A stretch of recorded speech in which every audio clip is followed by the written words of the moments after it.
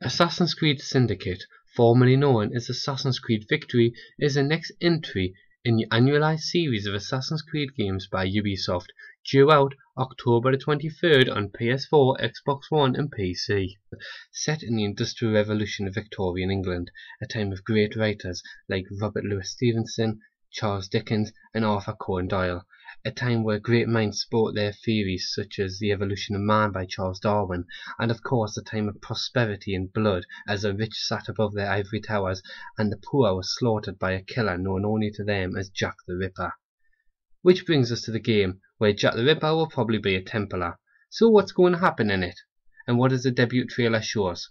Well first off, Big Ben is a synchronization point. This can be seen in greater detail at 1 minute 3 seconds, with one of the main protagonists perched on the edge. The real Big Ben was finished in 1859 with the bell made out of copper, tin, the interior coated in sand, and the rope made out of horsehair. Next we have St. Paul's Cathedral, also seen from an interior shot at the 23 second mark. It's also another synchronization point, as you can tell by a different shot shown at the beginning of the gameplay trailer. The real St. Paul's Cathedral was completed on Christmas Day 1711 and cost a whopping 143 million in modern day currency. This street shot, however, can be seen from an in-game perspective in the gameplay trailer. Also, the developer does state that London is one of seven boroughs. Think of this like how Assassin's Creed Unity works. I also believe, like every other Assassin's Creed game, there will be set locations that take place outside the main map. This will most likely include Newcastle, Birmingham, London, Scotland, York, Leeds, Cardiff and Blackpool to warrant a guess. Now at 20 seconds we see a new means of transportation for Assassin's Creed Syndicate as you can now ride the trains. This is probably some indication as to how big the map will be and will most likely work like Watch Dogs did as a quick way to escape your pursuers. And now we move on to 25 seconds into the trailer where we see the Seven Bells pub. You can see the exterior of this building in the gameplay trailer. This will probably be used like the cafe in Assassin's Creed Unity. The Seven Bells pub is a fictitious name given to this location, for the real name of the pub is called the Ten Bells pub. At 26 seconds in the trailer we see something interesting, Queen Victoria. Why I say interesting is because in real life Queen Victoria had eight assassination attempts on her, so there's a good chance that there's going to be a mission where you're either going to need to try to kill or protect the Queen. My money's on the former. At 29 seconds we see yet another interesting shot that brings more to the eye. In real life, children from poor families started work at 5 years old. Now as far as the game goes, I can see the children being used as a new distraction method like the beggars from Assassin's Creed 2. At 31 seconds you can see the coal works. This is most notably a nod to the real-world counterpart called Beckton Gas Works. From 35 seconds to 41 seconds you can see our male protagonist with a group of his comrades. This is a callback to Brotherhood, as you can now have a group of people help you during missions. Going back to 40 seconds we see the gang that features quite prominently throughout this trailer. The gang these red-coated gentlemen are based off are called the Peaky Blinders.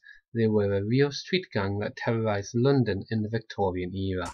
Now on to 48 seconds. This is a subtle nod to the murder on the North London Railway, as seen by the blood on the tracks, that you can see at a fleeting glance if you go frame by frame.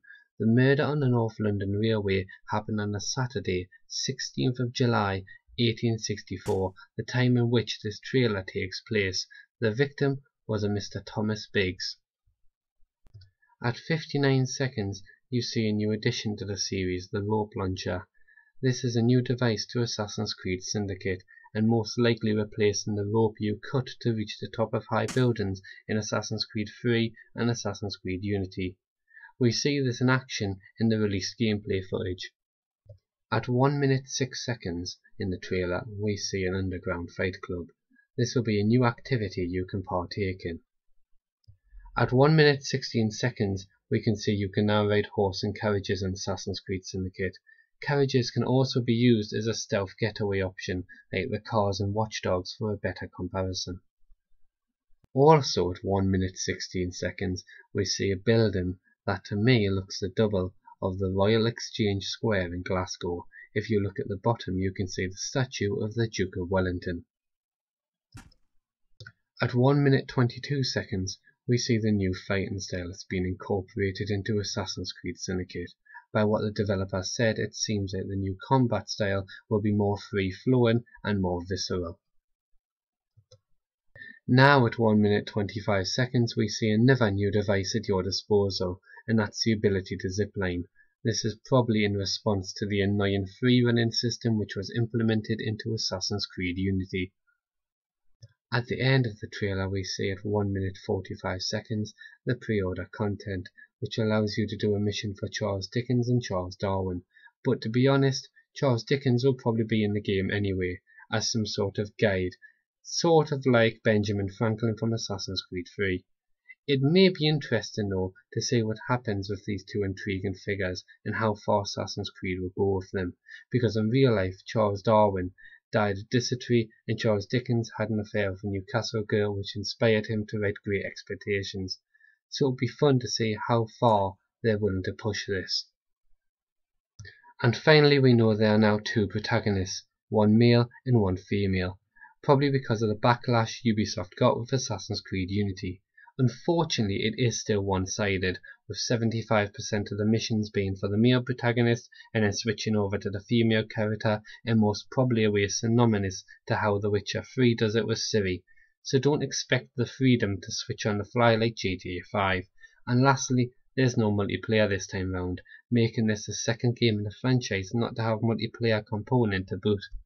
The other one was Assassin's Creed Unity, which only included co-op and that's all.